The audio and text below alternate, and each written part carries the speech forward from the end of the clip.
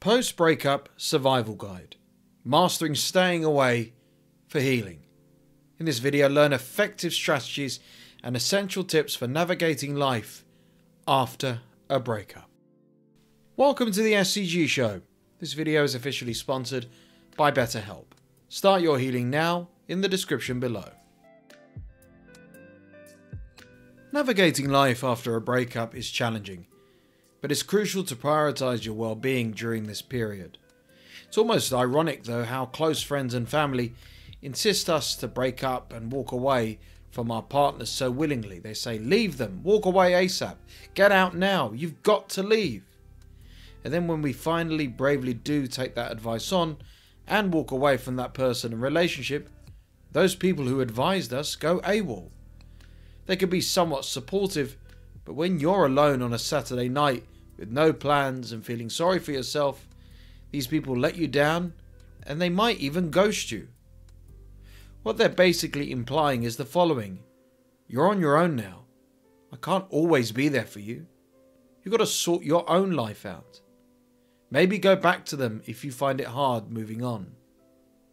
The point I'm trying to make here is post a breakup, it's a very lonely, difficult phase of your life initially.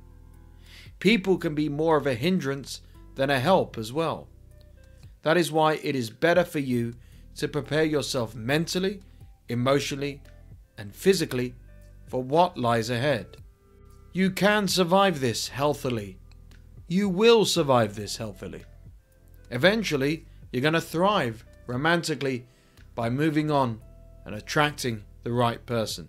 Now, the reason I've mentioned the people around you is because, as influential as they might have been for you initially walking away, they can also push you unwillingly right back into the arms of your ex again if you are not careful. You want to, need to, and must stay away moving forward. So you can heal, like I said, so you can move on and find the right partner instead. Here are ways you can master staying away and healing. If you're getting value from this video, please hit the like button and survive walking away with my brand new course. Download it now in the description below. Distance is important. Staying away after walking away encourages that distance because there's no going back. Creating distance also allows for emotional wounds to begin healing. And with that space and time, wounds can and will heal. Distance helps alleviate the anxiety associated with ongoing contact, allowing your mind and heart to ease into a new, more independent solo state. The immense chaos and stress of a toxic relationship creates fear and anxiety in people. Healing in any context requires that peace and quiet, and again, that distance and space. Putting physical and emotional distance empowers you by re establishing a sense of control over your life. That powerful control over your mind, your thoughts, emotions, your actions, your behaviors, control over your future as well. Now, you have a rough idea of the powerful psychological benefits of distance let us explore the opposite and the effect it will have on your life and well being. Suppose you don't allow distance. Maybe you constantly reach out, always make the effort with them. Firstly, those emotional wounds that run so deep, hurt so much, they get cut deeper by further interaction with your ex. Now, post breakup, they might be even more dangerous and unhinged with their behavior. Secondly, by literally the first contact, time, and seeing them, you'll receive an overwhelming sense of dread, fear, and anxiety once again. A very scary and real situation. And lastly, you lose control to the wrong person, willingly once more. It's vital to understand the importance of distance in this context, in staying away after walking away, so you can heal those wounds. Please don't forget to subscribe and hit the bell notification so you never miss any of my videos. Try avoid rebound relationships. Rushing into something new often means carrying unresolved emotional baggage from the past. This can manifest as trust issues, fears of commitment, lingering feelings for your ex. This can defer having any healthy, happy relationship with somebody new, who's even maybe compatible. Quick rebounds may hinder the opportunity to also reflect on the past. Taking time to understand the dynamics and learning from your mistakes is vital for your personal growth. I'll touch on this learning from experience more in the next point. A rebound relationship might provide temporary distraction, but it doesn't allow for proper healing. Emotional wounds from the previous breakup might resurface, affecting the new relationship's stability and the individual's overall well being. We want our wounds to heal, remember, not be covered in plasters that peel away straight away.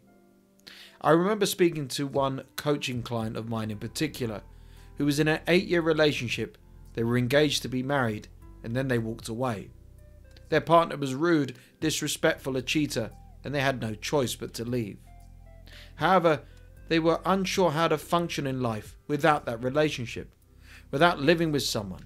It was like a shock to the system. I'm afraid of being on my own. I don't know what it's like. I'm so scared. I advised them to take one day at a time and to enjoy their independence and never rebound and rush into something new. They survived and they thrived and enjoyed the space and distance as well, and of course their healing journey, leading them to eventually attract a new partner, the healthiest and most compatible one yet. Thank you to BetterHelp for sponsoring this video. I've personally used BetterHelp and found it to be so effective for turning my life around for the better. BetterHelp is therapy online, which offers weekly sessions via phone, video, and live chat. You get matched with a therapist according to where you are, what you're looking for, and what you need help with. If it's not a great fit, you can switch therapists easily. Therapy is a great way to take care of ourselves mentally, just like we try to do so physically through diet and exercise. Online therapy can teach you valuable life coping skills and support you amazingly when tough times occur. Click the link below or visit betterhelp.com forward slash SCG show for 10% off your first month of online therapy today. Go ahead and start your healing journey now with BetterHelp. Life experiences, especially failed relationships, are huge lessons we must learn and try take wisdom from. Let me give you a personal situation as an example. I walked away from a toxic relationship years ago. One of the most difficult, powerful, and important decisions of my life. I was unhappy, drained, miserable, but done. As I record this all these years later, I've attracted and maintained a wonderful relationship with a girlfriend I see a future with, and I've changed and grown so much ever since. What did I learn? Well, several things. The first lesson I learned was that I was really naive back in the day. I knew nothing about toxic people the way I do now, and how dangerous it is having a relationship with such a person. I made it my mission to educate myself immensely on these topics and to hopefully help and inspire people like yourself when it comes to these relationships and people. The next lesson I learned was how immature I was, which I look back on with embarrassment. I was 29 when I first got into that toxic relationship. I was superficial, childish, and really silly. I knew I needed to grow up and challenge deep rooted beliefs that held me back and kept me stuck for so long. The next lesson I learned is a very powerful one, one that I've repeated constantly in my videos. You'll never be good enough for the wrong person. So, no matter what I did, how hard I tried, what angle I approached that relationship at, what efforts I'd make also, it was never going to be enough. They were wrong for me.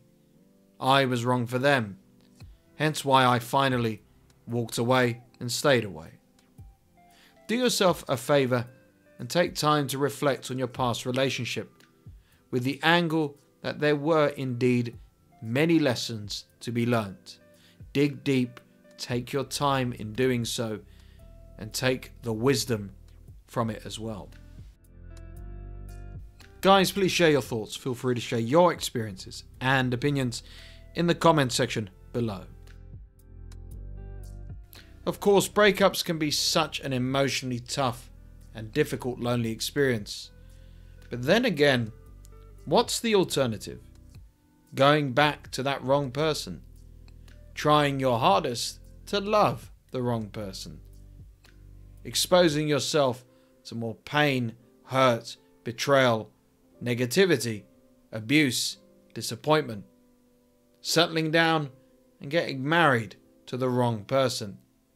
Deciding willingly to have children with that wrong person.